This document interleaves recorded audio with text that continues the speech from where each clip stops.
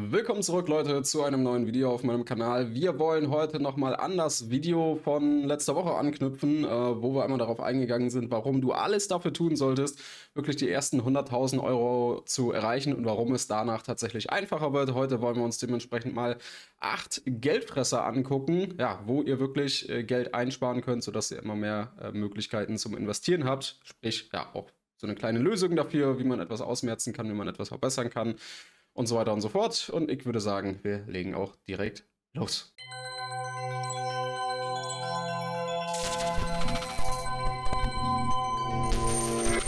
So, einmal rüber in den Splitscreen. Ja, das war entsprechend dieses Video hier. Packe ich euch auch nochmal in die Videobeschreibung. Und für alle, die jetzt so meinen und denken, ja, von wegen, ach, das ist doch äh, Blödsinn und äh, die 10 Euro, die ich bei Netflix einspare und die 20 Euro, die ich äh, hier einspare, das macht doch am Ende gar nichts aus. Ja, doch, das macht extrem viel aus. Ja, das werdet ihr im Sparplanrechner, könnt ihr das nämlich sehen. Denn wenn ihr überall immer so, mal hier 10 Euro, mal da 20 Euro im Monat spart, ja, dann kann das im ganzen Jahr teilweise 1000 Euro oder mehr sein.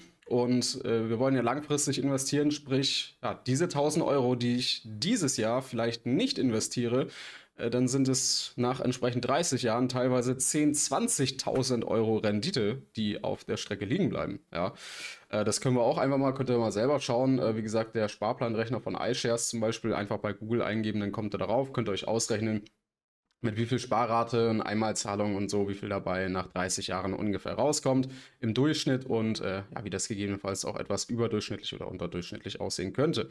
So, und wenn wir jetzt als Beispiel, na, wir haben 1000 Euro mit 1000 Euro Summe angefangen und ja, wir haben dieses Jahr, fangen wir jetzt an und wir haben 1000 Euro mehr zur Verfügung, weil wir eingespart haben. So, mache ich 1000 Euro mehr draus. Ihr seht schon, ja, es sind 10, 20.000 oder noch mehr teilweise.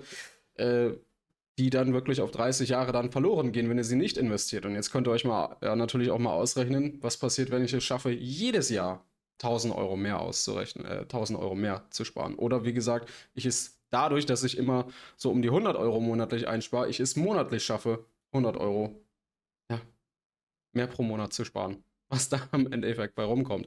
Also, das macht nach hinten raus unfassbar viel aus. Jede 10 Euro, jede 20 Euro, jede 5 Euro, die ihr irgendwo sparen könnt, äh, wenn ihr sie logischerweise dann auch reinvestiert. Das heißt, wir gehen das Ganze jetzt einmal durch was so die größten Geldfresser sind und wir natürlich das eine oder andere vermeiden können. Das erste sind natürlich klar, äh, Netflix, Disney, Prime, The Zone, Sky, diese ganzen Abo-Geschichten. Äh, ich bin mir sicher, dass ihr dort irgendwo einsparen könnt. Ja, und wenn das, wie gesagt, irgendwo 10, 20 Euro oder so sind, das äh, kann dann zum Beispiel sein, dass ihr euch das Abo vielleicht auch mit wem anders teilt und so weiter. Einige Streaming-Anbieter haben das natürlich schon irgendwo verboten, dieses Account-Sharing oder so. Bei einigen funktioniert es aber noch. Und ich bin mir sehr sicher, dass jeder irgendwo ein bisschen aussortieren kann. Also ich habe ja zu Stoßzeiten auch einfach mal, ich glaube, sieben oder acht solche Abos gehabt und mittlerweile habe ich noch zwei. Und das sind auch nur die, die ich wirklich brauche. Testet das einfach mal für euch aus, geht alle Abos durch. Und wenn auch nur ein einziges dabei ist, was ihr 14 Tage lang schon nicht genutzt habt, kann das raus. Ja, so schnell und so einfach geht das dann. Oder wie gesagt, reduziert werden durch möglicherweise äh, gemeinsam mit wem anders durch ein ähm, Account-Sharing, zumindest bei Spotify und so, die bieten ja sogar extra Familien- und Duo-Abos und so weiter an. Dabei geht es zum Beispiel, bei den anderen muss man natürlich äh, schauen, ob die das entsprechend noch zulassen.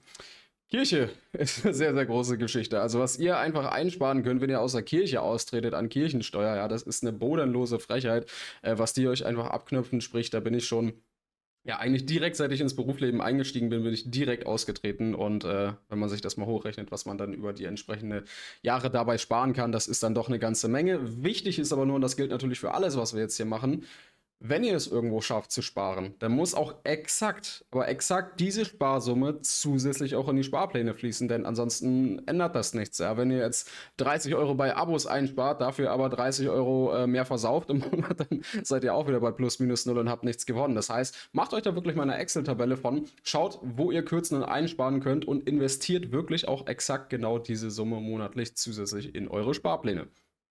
Gut, ja, äh, Gym gehört natürlich dazu. Das ist so eine Sache, natürlich Thema Gesundheit und so weiter. Jeder sollte Sport treiben, bin ich ja wie gesagt auch. Aber äh, ich habe auch ja, lange mal im Fitnessstudio gearbeitet. Ich weiß, wie viele Karteileichen dort rumlaufen. Äh, dementsprechend, äh, wenn ihr das sowieso nicht nutzt, dann ist auch das etwas, was nun mal weg kann. Ja, äh, das müsst ihr einfach mal überprüfen. Gilt logischerweise für sämtliche andere Sportabos auch, egal wo ihr da irgendwo vielleicht eine Mitgliedschaft habt.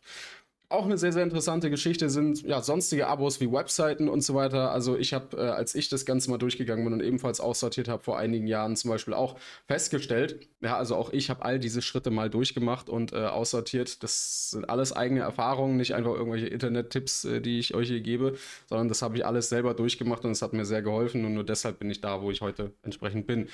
Denn Thema Webseiten, ich habe zum Beispiel dann auch festgestellt, als ich aussortiert habe, ich habe ähm, für eine Domain noch bezahlt, äh, über zwei Jahre bezahlt, obwohl ich sie schon überhaupt gar nicht mehr genutzt habe, obwohl es die Seite überhaupt schon gar nicht mehr gab. Die war längst abgemeldet, aber ja, nur weil ihr die Website kündigt zum Beispiel, ist die Domain nicht gekündigt und ihr ja, bezahlt da tatsächlich noch weiter. Dann hatte ich sogar noch eine andere Domain von einer Ex-Freundin von vor sieben Jahren oder so, die ich irgendwie immer noch bezahlt habe und das mir nie aufgefallen ist, weil das von einer alten Kreditkarte immer abging, die ich ebenfalls seit Ewigkeiten nicht genutzt habe.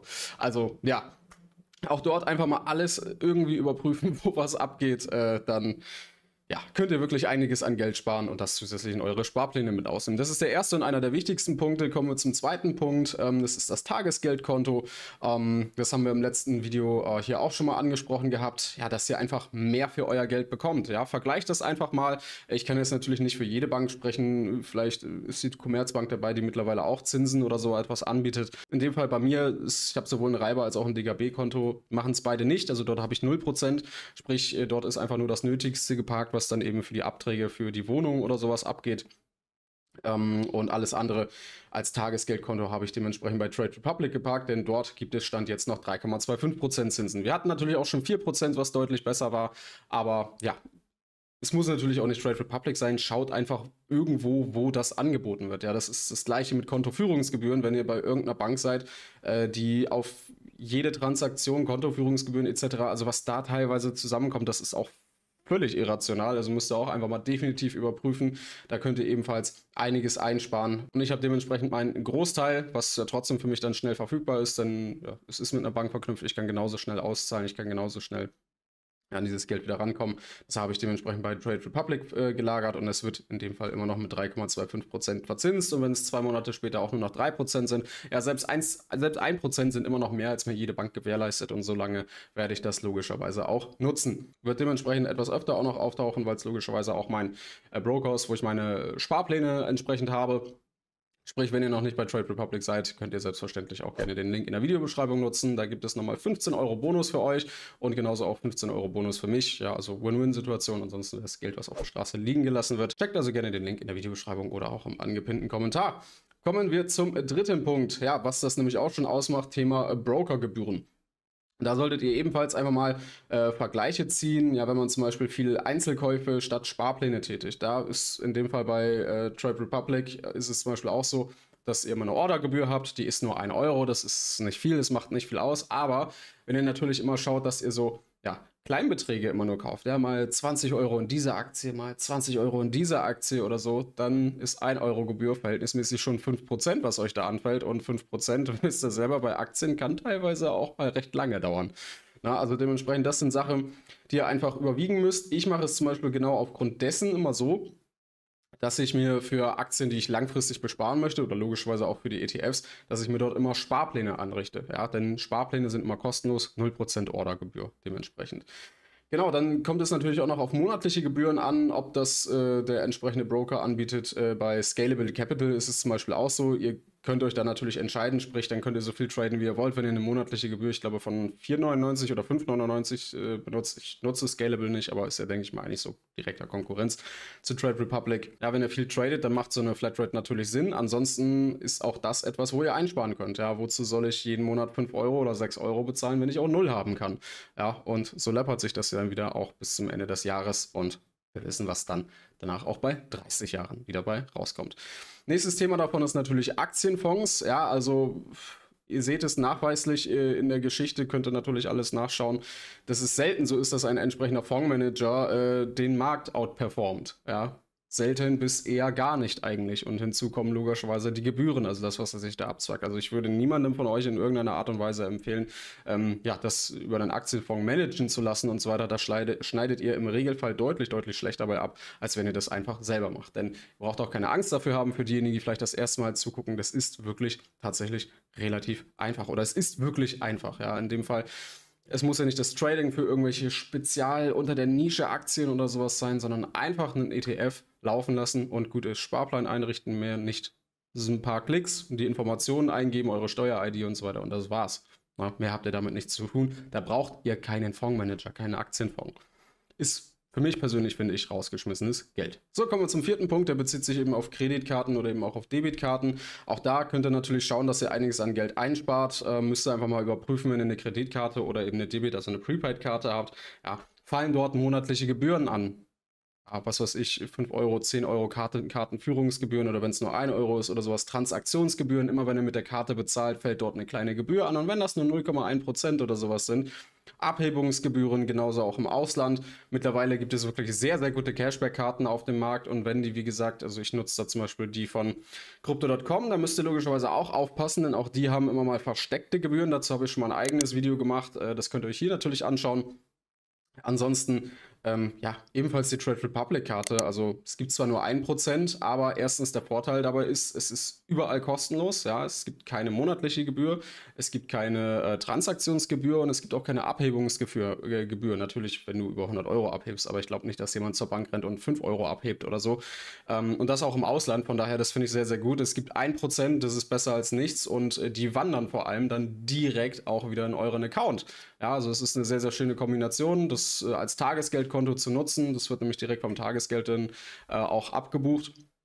Sprich, ihr könnt die Zinsen genießen, habt immer Geld auf der Seitenkante und äh, sobald ihr damit irgendwie bezahlt, fließt das entsprechende Geld auch wieder direkt in euren Sparplan. Und wenn das, wie gesagt, auch hier nur ein paar Euro sind, sie werden immer direkt reinvestiert und jeder Euro zählt am Ende. Denn ihr wisst, auch dieser eine Euro, den ihr jetzt investiert, das können in 30 Jahren 20 Euro sein, die fehlen oder gegebenenfalls sogar noch mehr. Gut, Punkt Nummer 5, sehr entscheidender Punkt auf jeden Fall, das ist das Thema Ratenzahlung. Natürlich in Bezug auf Immobilien, das ist natürlich etwas, was man in Klammern setzen muss, denn ja, äh, Immobilien geht in der Regel ja nicht anders als äh, mit einem Kredit, wo ihr logischerweise dann Zinsen für zahlen müsst und so weiter. Äh, ist ja bei mir auch der Fall. Also auch die Immobilien, der ich jetzt wohne, die habe ich nicht bar bezahlt, ja, die äh, läuft ebenfalls noch auf Kredit. Aber auch da kann man natürlich schauen, denn äh, gerade wenn man jetzt eine 100% Finanzierung zum Beispiel macht, dann ist es häufig einfach so und dann gerade auch in Richtung 30, 35 Jahre, gerade beim aktuellen Zins, dass ihr das gesamte Haus oder die gesamte Wohnung ja, über 30, 35 Jahre teilweise sogar doppelt bezahlt. Ja. Also rechnet, das sind immer so Sachen, die rechnet man selber im Kopf gar nicht durch oder das merkt man gar nicht.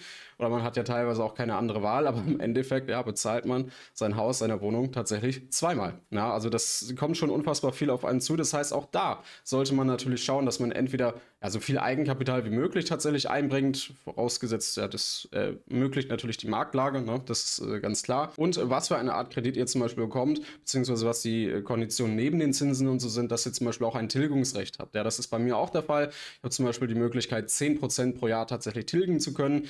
Ja, 10% ist natürlich eine ganze Menge, aber man muss es ja auch nicht mal direkt schaffen. Wenn ich es zusätzlich schaffe, vielleicht 2-3% irgendwie pro Jahr zu tilgen, dann ist das schon äh, auf jeden Fall eine ganze Menge. Und ähm, das kann natürlich, kann natürlich dazu sorgen, dafür sorgen, dass ihr deutlich schneller von eurem Kredit runterkommt und das Haus im Endeffekt ja nicht zwei oder teilweise sogar dreimal dann bezahlt. Ja, finde ich auch eine sehr wichtige Geschichte und ich versuche natürlich da genauso das äh, so schnell wie möglich immer zu tilgen.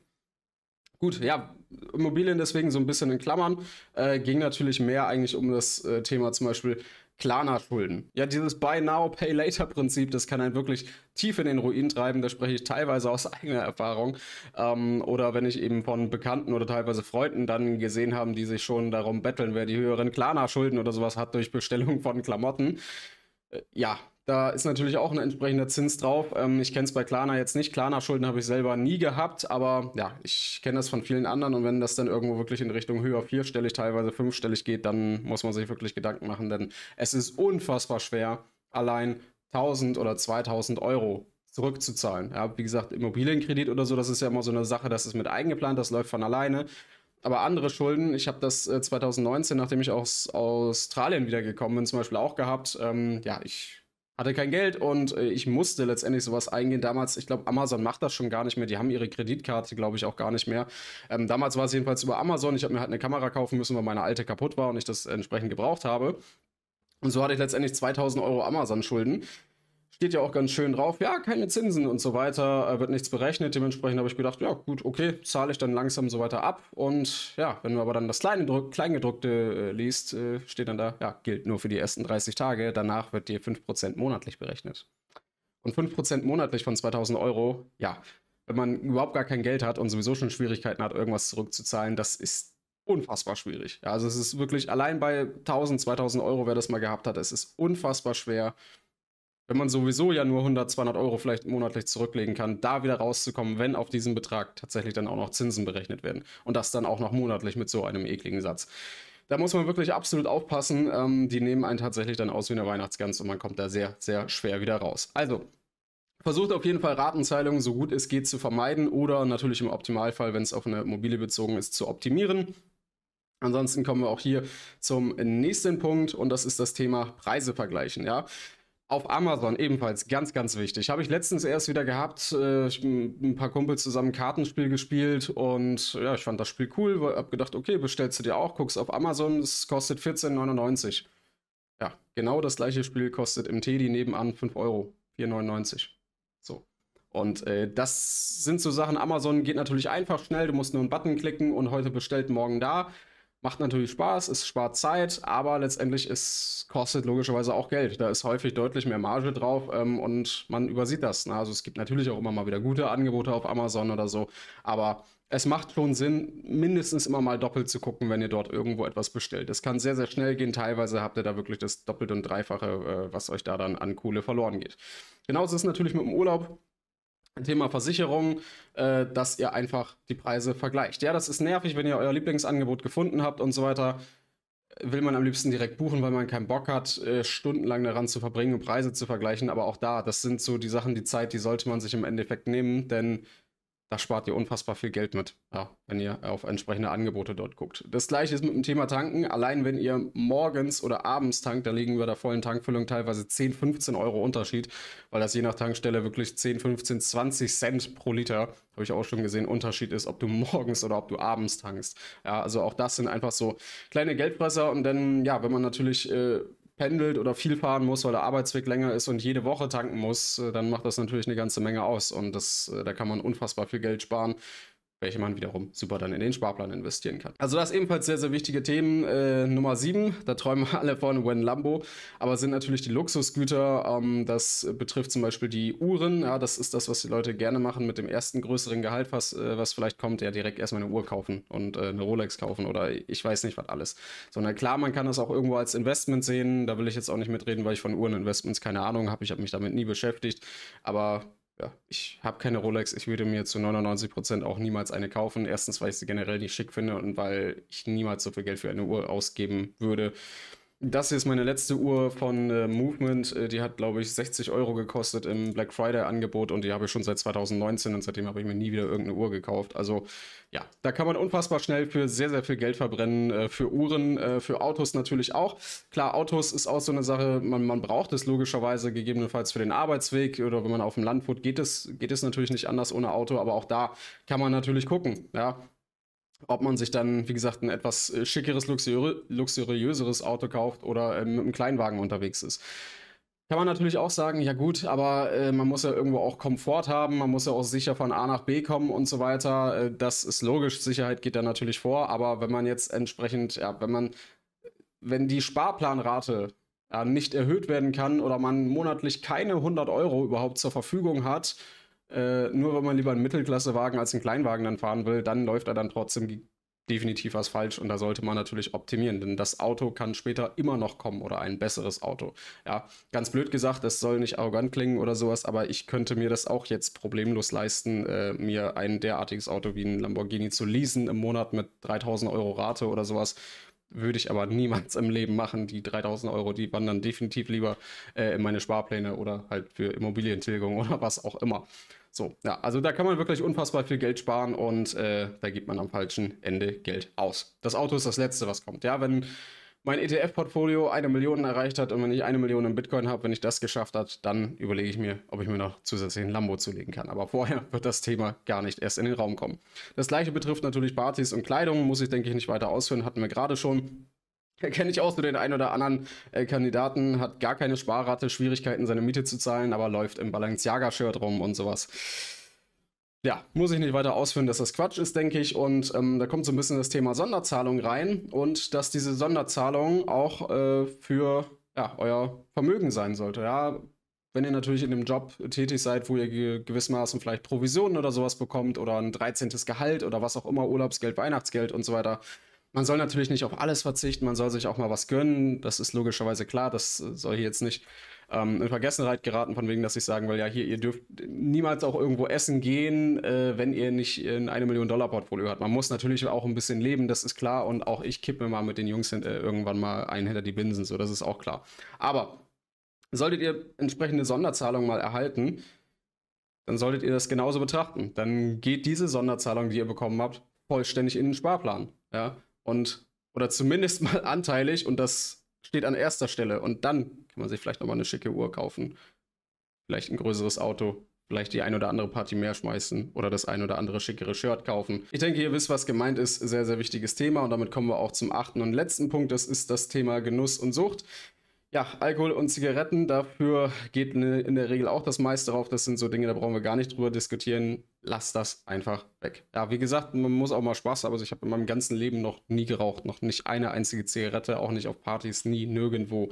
Habe ich den Sinn nie hinter verstanden. Thema Alkohol äh, kann man auch definitiv reduzieren. Wie gesagt, ich will damit ja nicht sagen, ihr sollt auf alles verzichten. Auch ich stelle mir gerne mal mit den Jungs einen ins Regal, aber wenn ich bedenke, dass ich äh, mit 18, 19 jedes Wochenende saufen war, kommt das jetzt vielleicht fünf, sechs Mal im Jahr oder sowas vor. Ja, also auch da kann man ordentlich reduzieren. Gleiches Prinzip, ja, wenn äh, ich nicht mal die Sparrate im Monat von 100 Euro bezahlen kann, ja, dann muss halt die Party hinten dran stehen. So, deswegen ist es auch ganz wichtig, dass der Sparplan immer zum ersten des Monats abgebucht werden soll, ja. Denn wenn meine Sparraten abgebucht worden sind, wenn ich meine Miete gezahlt habe, wenn ich alles bezahlt habe und am Ende des Monats ist noch Geld über, dann kann ich das immer noch versaufen, ja. Wie gesagt, man muss ja auch ein bisschen leben und man muss auch mal Spaß haben. Man sollte nicht auf alles verzichten. Aber das sollte definitiv nicht an erster Stelle stehen. Thema anderes sind logischerweise andere Substanzen damit gemeint. Die brauche ich hier nicht aufzählen. Das sollte selbstverständlich klar sein, wie schädlich das ist und dass man das nicht machen sollte. Aber das sind so die größten Geldfresser, meiner Meinung nach, von denen ich auch selbstverständlich überall äh, betroffen war. Schon lange logischerweise nicht mehr, aber die meisten ja, sind natürlich auch meine eigenen Erfahrungen hier, insbesondere was so dann äh, Ratenzahlungen zum Beispiel etc. betrifft, mit Kreditkarten etc. Und ja, solche Geschichten mit den Abos etc. habe ich damals auch sehr, sehr viel Geld verbrannt und da habe ich sehr gut einstanzen können. Gut, ich hoffe, euch hat das Video wie immer gefallen. Ihr lasst äh, ein Like und ein Abo da und schreibt mir gerne auch mal, in die Kommentare, wenn ich hier irgendwas vergessen habe. Ja, was sind eure größten Geldfresser gewesen? Wo habt ihr einsparen können? Wo habt ihr was optimieren können? Was kann man generell der Liste noch hinzufügen? Und dann würde ich mal sagen, lasst da, habe ich das schon gesagt? Lasst ein Like und ein Abo da, Kurzzeitgedächtnis. Macht es auf jeden Fall und wir sehen uns dann im nächsten Video. Ciao.